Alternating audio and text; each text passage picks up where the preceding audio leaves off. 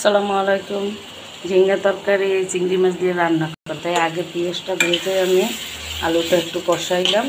এখন আমি এই চিংড়ি মাছটা দিয়ে দিয়ে যেতে আসি বড় চিংড়ি মাছ। এটা করে আমি এই ঝিঙে তরকারি রান্না করব। আমার চিংড়ি মাছটা আলুটা এখন কষানো হয়েছে। আমি এতে অল্প একটু নারকেল দুধও দিয়ে দিছি। এখন আমি সামান্য একটু ঝোল দিয়ে দেবো।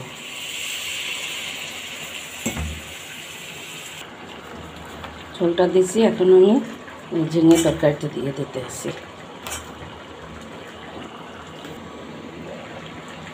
তরকারিটা একটু লাগাই দিতে আসি।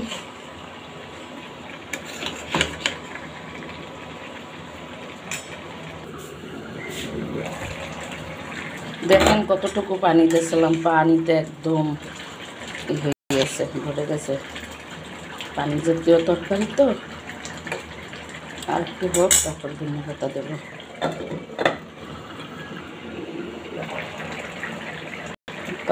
এখন আমি ধনে পাতা দিয়ে দেবো।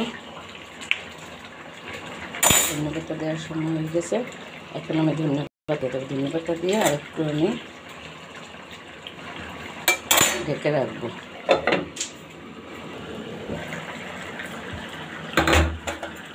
আমার তরকারিটা এখন হয়ে গেছে।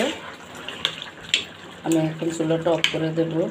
আর আমার রান্নাটা যদি আপনাদের ভালো লাগে, তাহলে আমার ইউটিউব চ্যানেলে সাবস্ক্রাইব করে দেবেন এবং আমার পেজে লাইক কমেন্ট শেয়ার করবেন।